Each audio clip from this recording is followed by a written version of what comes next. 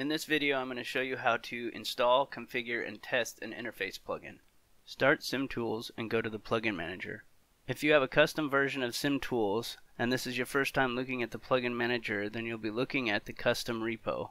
A custom repo will include plugins specifically for your simulator. If you installed a regular version of SimTools and this is your first time accessing the Plugin Manager then you'll be looking at the PC repo. You can load any plugin you have access to. Custom plugins are configured for specific simulators and public plugins are not configured. You can change repos by clicking on the repo button. I'm going to use the public repo so I'll choose SimTools. SimTools currently has two public repos, PC and console. I'm using a computer so I'm going to choose PC. The console repo only includes game plugins. Notice that the name of the repo is displayed at the bottom of the page. SimTools saves the last repo you were in when you leave, so when you come back you'll be in the same repo.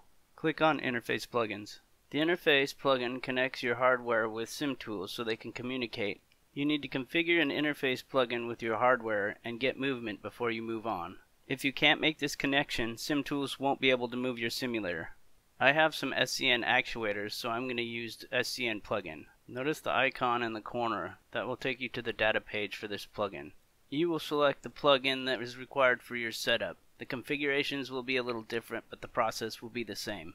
Click Yes to install the plugin. Once installed, go to the main menu and select Interface Setup. From here, select the plugin you installed from the drop-down menu.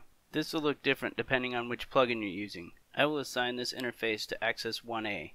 After you fill out the required fields, the Save button will turn green. Click Save to save your configurations. If you're using the SCN plugin like me, you'll get this pop-up and that means you need to restart SimTools for the configurations to take effect. No other interface plugin requires a SimTools restart. After saving your configurations, click Test Settings so you can test for movement. I assigned my interface to Axis 1A so I'll test Axis 1A.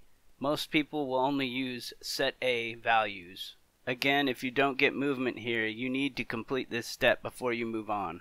Click Stop Testing to return to interface setup. Once you successfully get movement, you want to repeat this step for every interface you want to set up. You can configure up to six interfaces, but most people will usually have one or two.